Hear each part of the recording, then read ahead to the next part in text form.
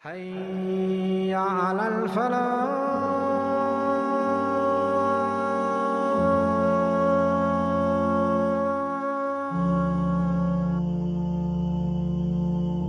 that Az-Zubayr ibn al-Awwam radiallahu anhu says, he says, I've never known someone more knowledgeable than her in a verse of the Quran. Nobody could come close.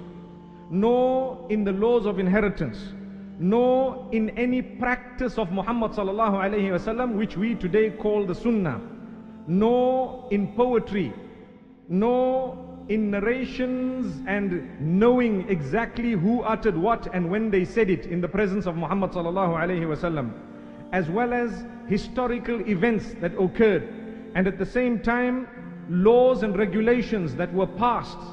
I knew no one who knew more than her, so much so that she was the most knowledgeable of us, even in medicine, until she became known as the most knowledgeable from amongst all the women. She knew absolutely everything. She only lived with Muhammad for eight years and five months. That's it. And actually, she had that special relationship with the Prophet. She was the spoiled wife of the Prophet because of her character. That one day they were coming back from one of the battles. So the Prophet sallallahu wasallam he ordered the army to go before him, and he stayed behind with Aisha. He said, "Ya Aisha, would you like to race me?" Aisha said, "Yes." So Aisha and the Prophet sallallahu wasallam they had the foot race. And Aisha radiallahu anha at that time she was young, so she beat the Prophet sallallahu. A short time of years after, the Prophet ﷺ and Aisha had another foot race. But this time Aisha, she said, I was a bit older and have put on more weight. So the Prophet ﷺ beat me. So at the end of the race, the Prophet ﷺ came and he hit his shoulder on my shoulder and he said, now we are equal. You beat me the first time, now I beat you the second time. The greatest in honor and rank the one whom the Prophet ﷺ declared that he loved her the most, none other than Aisha binti Abi Bakr as-Siddiq radiyallahu anha, who is known as Ummul Mu'mineen, the mother of the believers radiyallahu anha. Grew up in a perfect household. Her father is the great companion Abu Bakr, and her mother is Umm Ruman bint Amr. Aisha says about herself,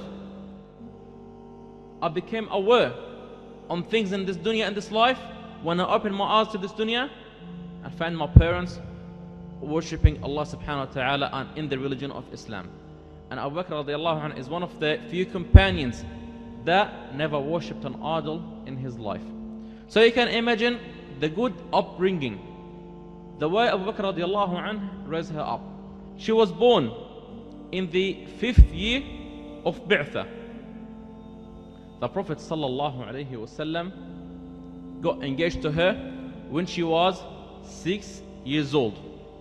And he married her after the migration to Medina, and he consummated that marriage when she was nine years old. She was asked later on when she was old about her marriage. So she said, Oh, I was fixed up to him in the sense that, you know, at that time, subhanAllah, the age of majority was about nine. That was the age of majority. Don't pick on people of the past just because your culture is different. It was the norm at the time. He married her not with his own choice, with the instruction of Allah subhanahu wa ta'ala, was because as a young person she would be able to memorize, live in the company of Muhammad much longer. She lived in his home, she was the most loved by him, a woman whom the bulk of the deen has come to us through her. She was the one who narrated the most hadith without a dispute from Rasulullah sallallahu alaihi wasallam from amongst the women. She knew much more than anyone else because she lived with him as a spouse. Certain things that only she knew, how he lived and how he was intimate with his own family members and so on, only she knew. She related to us. And this is why those who want to destroy the ummah find fault in Aisha radiallahu anha. Once you dislike her, you discount her narrations, you've discounted half of the deen. Another man they would discount is Abu Huraira radiallahu an. Once you find discount him, you've almost entered destruction of the entire deen. So this is why be careful of those who utter such dirty words against the creme de la creme, subhanallah. The household of Aisha radiallahu anha and the Prophet sallallahu alayhi wasallam is the greatest example of how the love between the husband and the wife should be. Aisha radiallahu anha lived with the Prophet sallallahu alayhi wasallam in a small room that was attached to Al Masjid al Nabawi. That she says when the Prophet wasallam was doing his i'tikaf, he will stick his head out into my room so I can fix his hair for him. And sometimes I will pass things onto him from my room to, to the masjid. Aisha says about the condition of her house that 40 days used to pass and not even a lamp or fire or anything will be even lit in the house of the Prophet wasallam. Meaning they didn't even have anything to cook and they didn't even have any oil to light the lamp. They used to live on dates and water.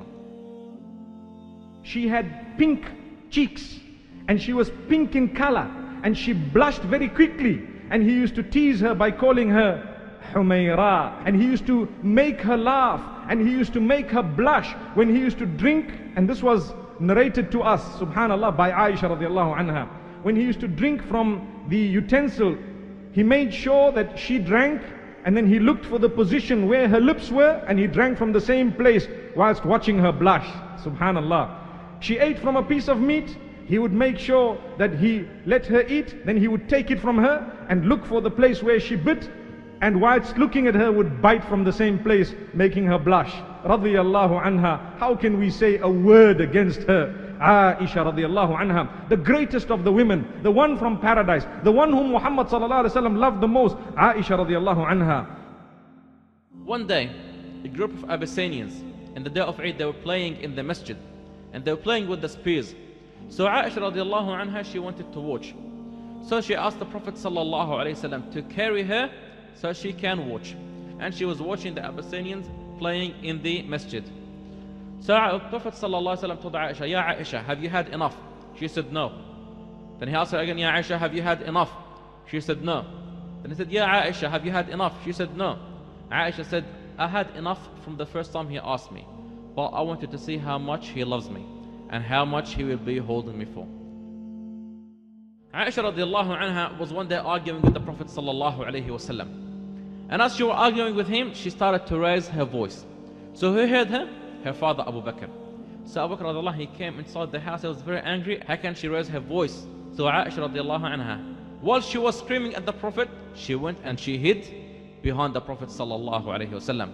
So the Prophet sallallahu alaihi wasallam held Abu Bakr.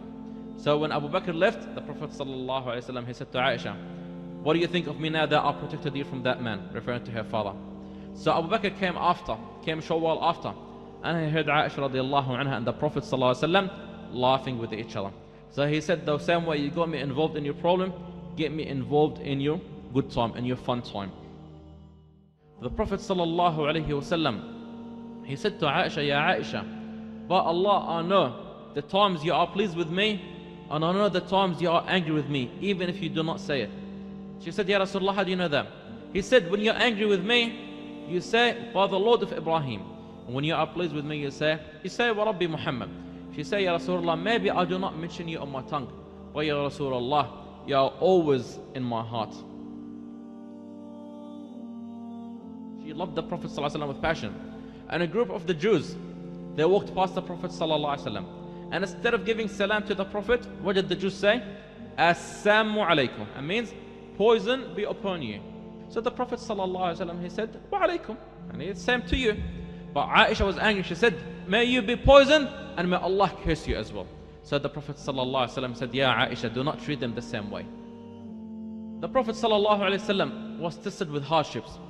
And Aisha, as one of the wives of the Prophet ﷺ, she also had to be tested with hardships. And in the fifth year of Hijrah, the Prophet ﷺ took Aisha with him to one of the battles. And that time it was the turn of Aisha to go with him. And it was the battle of Bani al-Mustaliq. which was an easy victory for the Muslims. And Ibn Ubay, he knew it would be a victory, so he joined the army to go and fight. Now, on the way back from this campaign, Aisha radiallahu anha, when they stopped for a rest break, she lost her necklace. And this necklace was a gift to her by the Prophet so it had a lot of sentimental value. And she began to look for it, and in trying to look for it, lot of time was spent, everyone got up to leave. And she didn't realize, but everyone had left. Now they would take Aisha radiallahu ta'ala anha in what they call a hodaj. A hodaj is like a cart. She said the reason why they didn't realize that I was missing, even though they were supposed to be carrying me in the cart, is because back then we were very light. We never used to have much meat on our bones. So what happened is that she got left behind. Now she didn't panic because in those days they used to have something called a rear guard in case someone got lost or things went missing. So she knew that there was someone that would come to find her. So she said that uh, there was a tree and there was some shade and I, I went to sleep. And then she said, I awoke to the sound of a man making istirja'.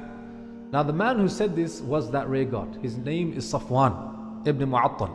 He was shocked and here he finds Aisha radiallahu ta'ala anha. And so when he says, Inna lillahi wa inna ilayhi raji'un, she wakes up, she sees him, and she realizes that this is that rear guard. And what happens is that he doesn't say anything. She mounts the horse and they go back and they catch up with the rest of the army. And that was all that happened. However, in the meanwhile, what happened in the Muslim army is that an argument broke out while some Muslims were getting water from a well. And this happened between the Muhajirun and the Ansar. Ibn Ubay, what he did, he, he saw an opportunity to try and stir something. And when he said what he said, news got to the Prophet ﷺ that Ibn Ubay has said such and such. He basically he likened the Muhajirun to being dogs. And what he meant by that, subhanAllah, so evil, is that these muhajirun, they came all the way to Medina, we gave them money, accommodation, shelter, and now look what they're doing. They are biting us. So when this got back to the Prophet ﷺ, he called for Ibn Ubay and he said, Did you say such things? He said, I would never say something like this. Yes, I am a believer in you, Ya Rasulullah. Okay, I'm one of your companions. And then Allah revealed Surah Al Munafiqun. He became exposed. Now, when he became exposed, he became humiliated. So, what he did is he went to the back of the army as they made their way back to Medina. So, he's frustrated, he's humiliated, and at that moment, who comes in the distance in the back?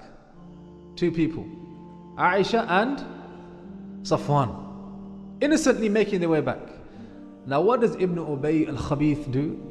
He sees them coming and he says, Well, well, well, what do we have here? He begins to insinuate. He doesn't say anything, but he doesn't need to. He just needs to say, Well, well, well, what's going on here? And then people start to think, oh, What's going on here? She's come back here alone and she's with Safwan and where's the Prophet. And however, no one says anything. Then they come back to Medina.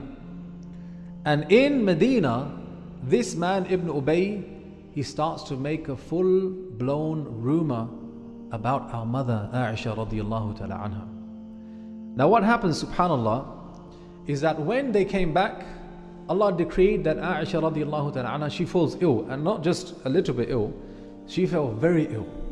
And she said for one month I was bedbound. And she said I didn't know what was going on whatsoever during that month, this rumor that was started by Ibn Ubay began to spread. And subhanAllah, some genuine Muslims, they became careless. And when they heard the rumor, some believers, they actually entertained the rumor and passed it on.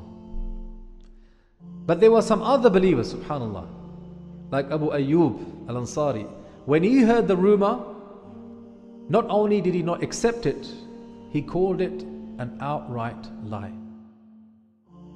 She says, During this month, I don't know what's going on. People spreading all of these lies about me, I had no idea, except for one thing. And that is when the Prophet ﷺ used to come and visit me, he wouldn't give me the same type of love he would normally show me. And she had a nurse who would look after her because she was very sick. He would come and he would say, he would give salam to her and then he would turn to the nurse and say, How is this one? He wouldn't talk to her. And she thought, That was strange. How comes? She says, After a month, I started to feel better. And so I went out one day. And to a quite remote place, she went to relieve herself. Who was helping her was a lady called Umm Mistah. As she's walking along, what happens is Umm Mistah, she trips up on her dress. And as she falls over, she says, Cursed be my son Mistah. So Aisha radiallahu ta'ala, she says, you know, what are you doing cursing a man who went to Badr with the Prophet She says, don't you know what people have been saying? And she's like, what do you mean, what people have been saying? Aisha said, I went straight to my mother. She says, oh my mother, what have people been saying? Her mother, she begins to reassure her. And all she says is, you know what? You are loved by the Prophet ﷺ more than any other wife. You've got nothing to be worried about. Now, when she says that to her, she becomes even more worried. What do you mean? He doesn't love me anymore. What's going on? And I said, Subhanallah. She said, Have people been speaking about this? She couldn't believe it. She says, I began to cry. And I cried the whole night, and the tears just wouldn't stop until I woke up in the morning. Then things went from bad to worse. She says the Prophet ﷺ, he called Ali and Usama ibn Zayd to speak to them and get their advice. What should I do? He said to the two of them. And Ali radiallahu ta'ala he said to the Prophet ﷺ, It's up to you. Allah has not made you obliged to stay with her. However, I recommend that you ask this one Jariyah. There was a slave girl that was also looking after Aisha radiallahu ta'ala anha. He said, Go and ask her if she has seen anything suspicious. He, he calls this girl. He's, and this, this uh, Jariyah's name was uh, Barira. So he calls this girl Barira and he says to her, Oh Barira, have you seen anything suspicious about Aisha radiallahu ta'ala anha? And her answer is just amazing. She says, No, I haven't seen anything whatsoever, except for one thing. That she is a very young girl, a bit immature. And when she's kneading the dough for the bread, she falls asleep. And when she does, the goat comes along and takes the bread. That's about it. so far away from this allegation is unbelievable. So the Prophet ﷺ, what he does is the next day, he goes out, he stands at the mimbar in his masjid and he does a khutbah. He says, Muslims, who is going to deal with this man? Ibn Ubay. Because this man, he has caused so much grief to my family. He says, I swear by God, I don't know anything except good about my family. You see, he doesn't doubt his wife. And he said, in all of this, they've brought into disrepute another man as well, Safwan. And I don't know anything but good about Safwan. And he asked in that speech someone to take out Ibn Ubay for what he did. Now, what happens, subhanAllah, is that instead of the matter being dealt with, the matter gets out of hand. And everyone is arguing. So the Prophet began to tell people to calm down, calm down. And to everyone became quiet. And the Prophet himself became quiet. He didn't know what to say anymore. And then Aisha she says, I began to cry even more. She said, I cried for two nights and another day. And the tears just wouldn't stop. She's thinking, look at what's happening now. Everyone's at each other's throats because of me. She says, and my mom and dad, they thought that I'm crying so much, my liver's going to explode. And she can't stop crying because of this. And then what happens? The Prophet ﷺ, he comes to visit her. She says he came in, he sat next to me, and the first thing he does is says, La ilaha illallah. Things have reached me about you, about this and that. And then he says, if you are innocent, don't worry, Allah, He will declare your innocence. And he says, if you have even dabbled in some type of sin, then you know what? Ask Allah to forgive you and make tawbah to Him. Now, at that moment, Aisha's sadness turns to anger. She becomes enraged She looks at her father and she says, Respond to the Prophet. I'm not even going to, speak to him now. You tell him. Abu Bakr says, I don't know what to say. Subhanallah. Then she looks at her mother, she says, Mom, what are you going to say? Her mom says, I don't know what to say. He said, I swear by Allah. I know that you have heard the hadith, meaning the rumor, until it's gone right inside of you. And you started to believe it. She said, I know that if I tell you I didn't do it, and Allah knows I didn't do it, you wouldn't believe me. And if I suggest that I did do something and Allah knows I had nothing to do with it, you would immediately believe me. Subhanallah. And then she said, There's no way I can describe you guys right now except the way the father of Yusuf said the following words Beautiful patience is all I'm going to have. And I'm going to rely on Allah about what you people are saying. Subhanallah. That is what Aisha said to those three people in the room at that moment. You are like right now, to me, like the brothers of Yusuf. But it just shows how much he was affected by what happened. And she says, I crawled up into a little ball and I lay down on my bed. The Prophet ﷺ, he goes into another room and he sits down and he falls into that trance, that moment where revelation starts to come down and he begins to sweat. Aisha said, beads of sweat started to drop from his face and revelation begins to come down. Allah said, Indeed, those who came with the ifk, don't think of it as something bad, rather it was better for you. Now when the Prophet he received that revelation, he smiled. And he called out, Ya Aisha. So Aisha said, my mom, my mom says to me, go and speak to him, look.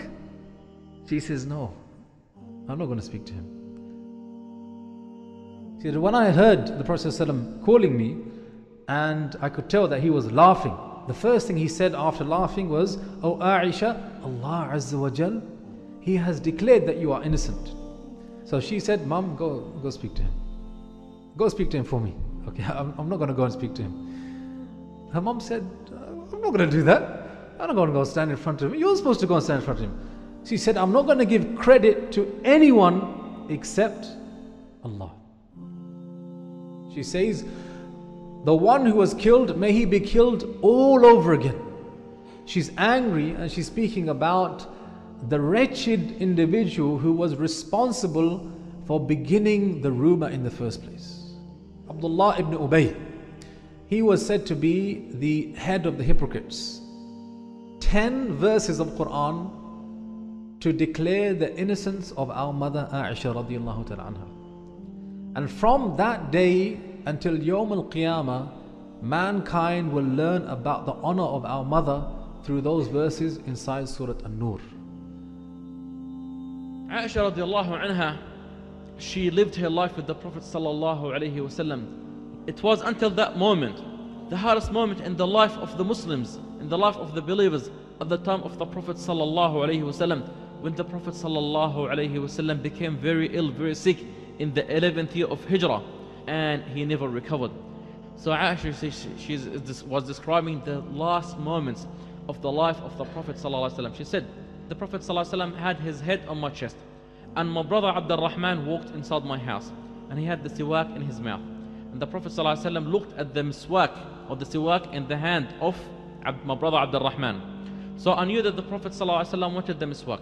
So I took the miswak from Abdul Rahman and I have put the miswak in my mouth and then to make it softer. And I gave it to the Prophet wasallam. And the Prophet wasallam cleaned his mouth, cleaned his teeth with the siwak. Then the Prophet wasallam put his head on my chest. And I saw the Prophet wasallam raising his hand to the heavens and saying, Bala Rafiq al-A'la, Bala Rafiq al-A'la. I knew the Prophet ﷺ at that moment, at that time, he was given the choice to stay in this life or for Allah subhanahu wa ta'ala to take, to take his soul. Aisha anha, she said, the Prophet sallallahu alaihi wasallam passed away and his head was between my chest and my neck. Sallallahu ala Muhammad. After the death of the Prophet sallallahu alayhi wasallam, Aisha stayed in Medina. And the companions used to always go back to her, asking her to explain hadith to them, asking her to give them rulings. When the companions radiallahu would disagree between each other over rulings, they would go to Aisha radiallahu anha to make the judgment. Aisha radiallahu anha passed away on the 17th day of Ramadan in the 85th year of Hijrah.